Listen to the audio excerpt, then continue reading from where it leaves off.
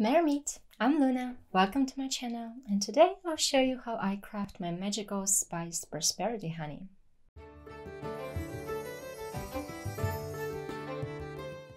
First of all, honey is a great medium for abundance workings. It's associated with the sun, it's energizing, and it was considered a divine substance and offered to the gods in earlier times. So it was a very expensive product, and only a wealthy person could afford it. Also, honey is sticky, so you can use that quality magically to attract and retain wealth. Make it stick to you. As for spices, they once were more costly than gold because they were imported at great expense from distant lands. So I'm going to be using cinnamon bark for success, luck, and speedy manifestation, cloves to draw money, and vanilla bean to imbue everything with sweet, happy vibe, and just because I like the flavor. I'm actually going to cut this bin open so that it infuses better. And I've decided to add dried orange peel as well because oranges contribute to that solar, abundant energy, and I absolutely love that zesty, uplifting fragrance and the flavor of orange. If you don't like any of the ingredients, feel free to substitute it and use your own correspondences. But if you want your honey to keep for a long time, I recommend using dried herbs only. Now, honey by itself can keep for years, um, because most bacteria and microorganisms can't grow in it due to its antimicrobial properties, the pH level, and low water content. But if you add a fresh, juicy slice of lemon in it, for example, then you're messing up the natural pH balance and water level, so your honey might not keep very well. So because it's a prosperity honey, it's good to craft it on a waxing moon to attract things into your life and or on a Sunday or Thursday, as these days of the week are ruled by the Sun and Jupiter, respectively. So they'll contribute to that benefic, generous, expansive energy.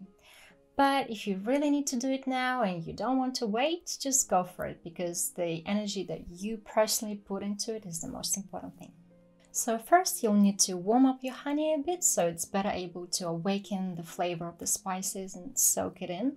But don't heat honey directly over a stove. Boiling honey deteriorates the quality and kills essential enzymes and nutrients. You don't want your honey to be hotter than about 30 35 degrees Celsius, which is about 95 degrees Fahrenheit.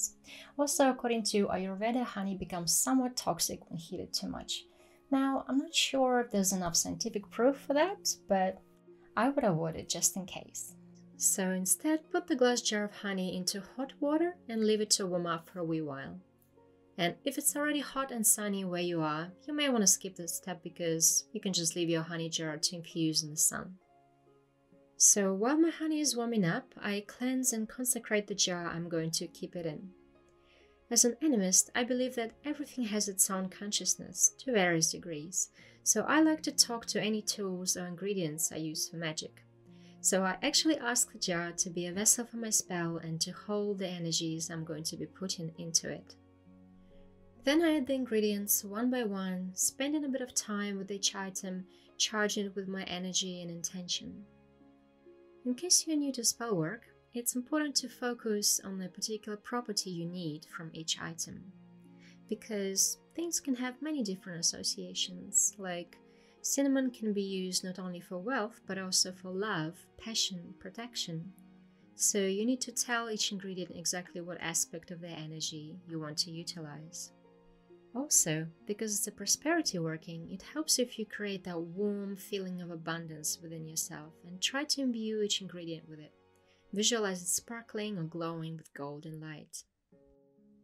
You can also visualize yourself already having what you want, and you can say positive affirmations and words of gratitude for what you already have. Um, whatever helps you create that warm, abundant feeling inside yourself. So just try a few different things and figure out which ones work best for you. It's such a fun, creative process. I love it. So if you want to keep it simple, you're pretty much done, but I like to layer it up and add extra energies corresponding to my intention. Here I'm adding the sun charm, the Fehu rune that I made out of polymer clay, and the number 8 charm, which is also the infinity and abundance symbol. You can draw different symbols and sigils on the jar or on a piece of paper to put under the jar. Here I've got the prosperity sigil. You could also include tarot cards like the Sun for luck and success, the Empress for abundance and fruitfulness, and the Queen or King of Pentacles for wealth and financial stability. Then I add actual gold, real gold flakes, and some prosperity crystals like citrine, pyrite, green aventurine, jade, peridot, carnelian, and so on. Just make sure you cleanse all those extra items before you add them into the working. I also set the jar on a wooden base carved as the flower of life, which is a sacred geometry figure that has a wonderful harmonizing effect, and it kind of connects everything together, all the little bits and pieces that I've included into the working. Finally, I add a gold candle on top of the jar to add a bit more power. I know a lot of people use green candles for prosperity, but for me it's gold, so you do you. And if you're setting the candle on a cork lid, make sure you remove it before it burns down because it'll set your cork on fire. Then I spend a bit of time kind of binding it all together and doing some final activation and visualization. When I feel it's ready, I put the jar out on the balcony or a sunny windowsill and let it infuse for a few weeks or from the new moon to the full moon. Stir the spices every couple of days and add more energy or at least be mindful of your intention as you stir. Now, I just want to say I know I've used a lot of stuff like crystals, charms, runes, and whatnot, but all that is extra. I use it just because I already have it and it does help, but I've built up my witchy toolbox over years. So if you're just starting out and all you have is some honey and a cinnamon stick, that's enough that's enough for successful working, provided that you do the energy work behind it. That's the essential part, not the extra stuff. So when your honey is ready, you can strain out the spices, but because it's a magical honey, I like to keep them in. So just add a spoon to your daily tea or eat it however you like. That's the beauty of kitchen witchcraft. It's so simple. Just be mindful of your intention as you consume it. So if you have any questions or would like to share your honey recipe, drop it down in the comments below. And if you found this video useful, please give it a thumbs up and subscribe for more magical content like this.